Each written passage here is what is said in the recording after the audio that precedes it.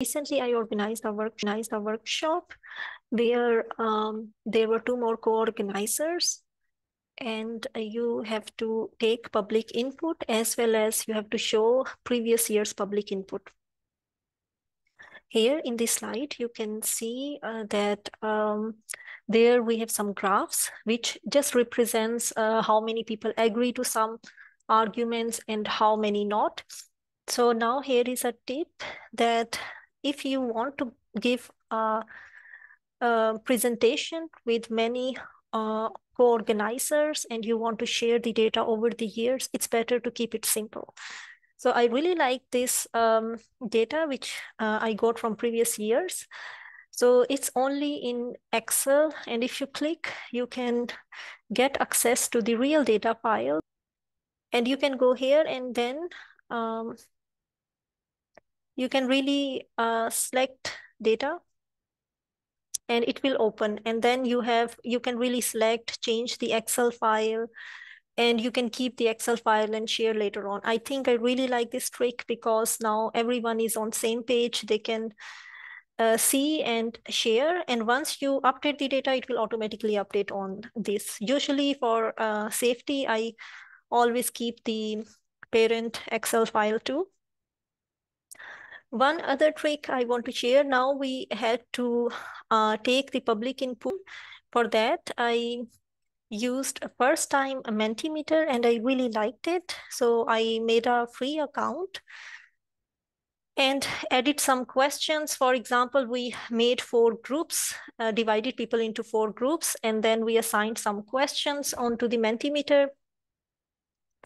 And when you open the Mentimeter, it's a free account, uh, what I have. So I added here, uh, for four groups, I had to add uh, questions for each group separately. And if you look to the statistics uh, view,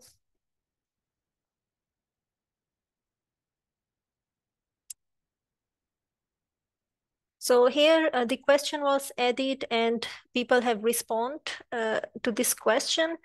You can copy the QR code of this one and put to your PowerPoint. One uh, thing which was little bit not nice was that QR code of this um, Mentimeter was changing every time you close and open Mentimeter.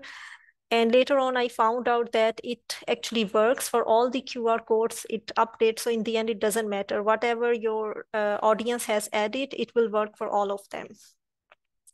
Okay, once you have answers, uh, there are a few tricks. Once you make a presentation, you will immediately understand.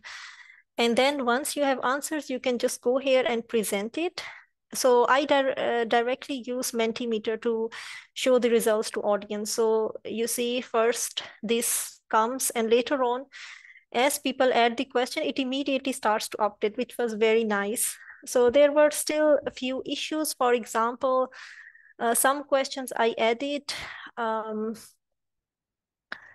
uh, there, they, it was nice that you can see how many people respond to this question depending on which format you select for question. But there were few questions for which I uh, chose a different format.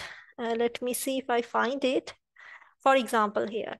And here I, um, it was very difficult to show how many people answer to this question, how many agree for that in I think one has to use a better format or copy the question in two different formats. But overall, I really liked Mentimeter. Uh, there was another uh, option, uh, poll everywhere, but I was not able to get along with that one. So it's a suggestion. You can check which one works for you, but this uh, online um, available platforms are sometimes really nice because people can immediately see how many people are responding and what the statistics looks like.